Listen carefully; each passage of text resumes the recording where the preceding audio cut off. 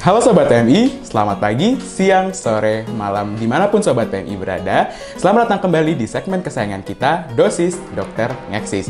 Bersama saya kali ini, Dokter Kevar, kita akan membahas hal yang sangat berkaitan dengan bulan puasa, yaitu berbuka dengan yang manis.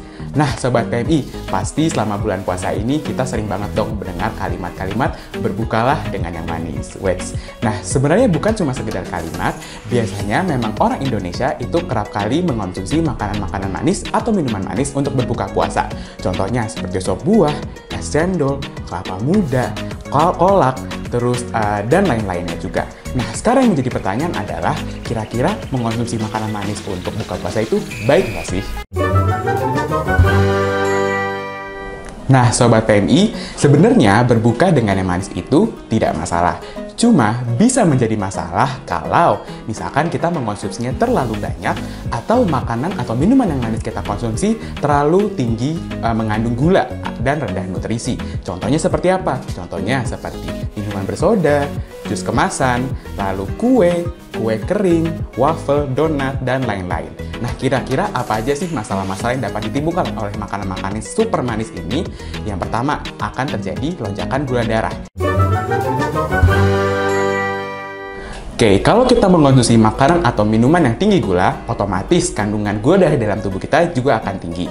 Nah, peningkatan gula darah yang tinggi secara cepat ini tentunya biasanya akan diikuti dengan penurunan energi yang drastis. Makanya biasanya setelah terjadi lonjakan gula ini, kita akan merasa kelelahan. Kalau tubuh kita dibiarkan mengalami kondisi ini terus-menerus, tentunya akan menyebabkan permasalahan kesehatan seperti resistensi insulin atau misalkan diabetes mellitus. Lalu, yang kedua adalah penambahan berat badan. Tentunya kalau misalkan kita mengonsumsi makanan yang tinggi gula, tentu kalorinya juga tinggi. Kalau kita mengonsumsi makanan tinggi kalori, tentunya akan menambah berat badan. Kalau diteruskan, akan menjadi obesitas. Lalu kalau obesitas diteruskan, akan menjadi permasalahan-permasalahan penyakit metabolisme lain, seperti penyakit jantung, dan lain-lain. Pasti Sobat PMI nggak mau dong, puasa yang niatnya mau kurus malah jadi tambah gemuk. Lalu yang ketiga adalah penyakit gigi. Tentunya makanan manis itu sering kali dikaitkan dengan penyakit gigi karena dapat merusak uh, kualitas dari gigi tersebut seperti menyebabkan karies dan lain-lain. Makanya penting banget sobat PMI untuk tetap menjaga kesehatan mulut dan gigi ketika mengonsumsi makanan-makanan yang manis. Lalu yang keempat adalah keseimbangan nutrisi. Kalau Sobat PMI mengandalkan makanan-makanan manis atau minuman-minuman manis untuk berbuka, tentunya kita akan kehilangan keseimbangan nutrisi, nutrisi yang justru penting untuk kita, seperti serat, mineral, vitamin, protein, dan lain-lain. Makanya kita saat berbuka puasa harus menyeimbangkan nutrisi-nutrisi tersebut.